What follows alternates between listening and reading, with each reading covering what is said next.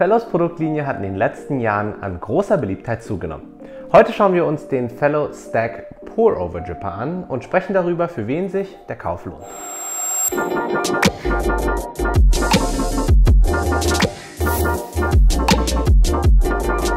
Hi und herzlich willkommen zurück auf dem Coffee Circle YouTube-Kanal. Auf diesem Kanal findet ihr alles rund um das Thema Kaffee. Und bevor wir zum Testbericht kommen, schauen wir uns einmal die Besonderheiten dieses Brewers an. Der Brewer hat eine doppelwandige Isolierung aus Edelstahl. Dadurch bleibt die Brühtemperatur stabil. Durch 10 Löcher auf der Unterseite des Brewers soll es keine Verstopfungen geben.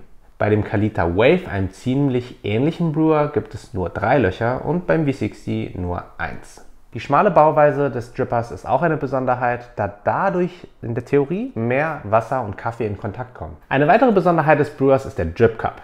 Mit diesem Drip Cup kannst du am Ende nach dem Brühvorgang einfach den Brewer reinlegen Du kannst ihn aber auch nutzen, um mehr oder weniger genau Bohnenmengen zu definieren. Ob das in der Praxis auch so hilfreich ist, darüber sprechen wir dann gleich. Außerdem kommt der Brewer in einem minimalistischen Matt schwarz wie bei vielen anderen Fellow-Produkten und er ist sehr robust gebaut, was vielleicht auf Reisen ganz spannend sein könnte.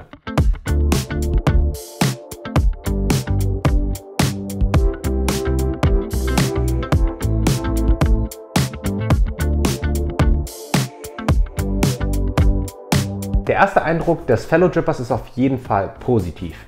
Er ist relativ schwer verglichen zu anderen Drippern wie dem V60 oder dem Kalita Wave und alles in allem fühlt er sich wirklich hochwertig an. In der Verpackung enthalten sind ein Dripper, ein Trichter, 10 Papierfilter und der Drip Cup.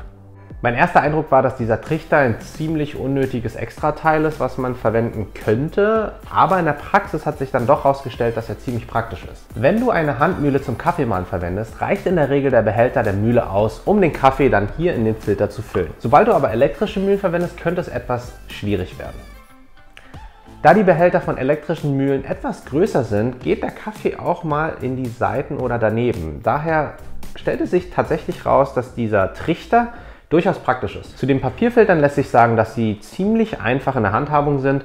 Äh, sie passen natürlich auch ideal in den Brewer und ich hatte bisher keine Probleme damit, diese Papierfilter zu verwenden. Alternativ kannst du auch die Kalita Papierfilter nehmen. Die kleinen passen auch in den Filter, sind aber dann relativ niedrig. Die großen Kalita Papierfilter eignen sich etwas besser. Ich würde also empfehlen, immer die größeren Kalita Wave Papierfilter zu nehmen, falls du gerade keine Fellow Papierfilter zur Hand hast. Der Drip Cup hat zwei Markierungen. Diese sollen anzeigen, wie viel Kaffee du brauchst, um eine Tasse Kaffee bzw. zwei Tassen Kaffee zu brühen. Auf Reisen mag diese Markierung vielleicht etwas hilfreich sein, aber wir empfehlen eigentlich immer, wenn möglich, eine Waage zu benutzen. Dadurch erzielst du einfach die besten Resultate. Und da kommen wir auch schon zum nächsten Thema und zwar Reisen. Ich denke, dafür ist der Brewer ideal geeignet, da er sehr robust gebaut ist und man sehr gute Ergebnisse damit erzielen kann. Verglichen mit einem klobigen V60 oder auch mit einem Kalita Wave ist dieser Dripper deutlich praktischer. Außerdem ist die schmale Bauweise von Vorteil. Ich denke, dass man diesen Dripper auf jeden Fall in jede Tasche bekommt. Kommen wir nun zum Thema Geschmack und Resultate. Wie bei allen anderen Pour-Over-Drippern hat die Technik einen großen Einfluss auf den Geschmack deines Kaffees. Ich habe mit diesem Brewer verschiedene Techniken ausprobiert. Vom Brühvorgang bis zum Mahlgrad Generell hatte ich immer ziemlich gute Ergebnisse mit diesem Brewer erzielt. Der Brewer ist in der Handhabung etwas leichter als ein V60 oder eine Chemex, liefert aber ähnlich gute Ergebnisse. Kommen wir nun zu den Vor- und Nachteilen. Die Bauweise des Fellow Drippers ist ziemlich robust und hochwertig, was ich sehr gut finde. Außerdem ist das Design sehr minimalistisch und sehr clean gehalten. Durch den kleinen Formfaktor eignet sich der Dripper besonders gut auf Reisen, verglichen zu einem V60. Außerdem war der Brewer sehr leicht zu reinigen, was ich sehr gut finde. Der Geschmack des Kaffees aus diesem Brewer ist immer hervorragend. Man bekommt einen sehr klaren, nuancierten und angenehmen Filterkaffee. Außerdem ist die Extraktion durch die schmale Bauweise und die Isolierung ein klarer Vorteil. Der Brewer ist ziemlich schmal, das heißt der Spielraum, um deinen Kaffee aufzugießen, ist relativ klein. Außerdem ist mir aufgefallen, dass die schmale Bauweise mit vielen Tassen nicht kompatibel ist.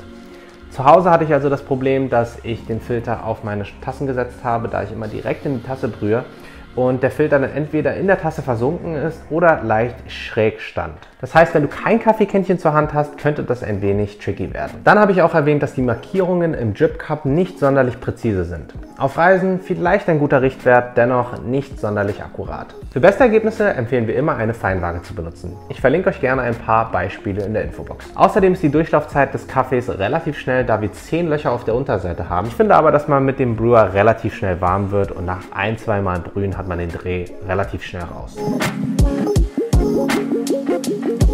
Mir gefällt das minimalistische Design, die einfache Handhabung und die Robustheit des Drippers besonders gut. Der Kaffee aus diesem Dripper schmeckte immer wunderbar und ich hatte keine Probleme mit jeglichen Kaffeesorten. Ich persönlich fand es schon etwas nervig, zu Hause immer in die Thermobecher brühen zu müssen und dann umzufüllen.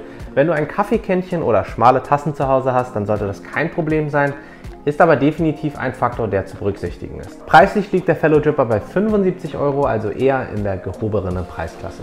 Hast du noch weitere Fragen zu diesem Dripper? Schreib es gerne in die Kommentare und wir beantworten dir gerne deine Fragen. Ich werde dir den Fellow Dripper und auch alle Produkte, die ich in diesem Video verwendet habe, unten in der Infobox verlinken. Und wenn dir das heutige Video gefallen hat, dann lass gerne ein Like da und abonniere unseren Kanal für weitere Videos rund um das Thema Kaffee.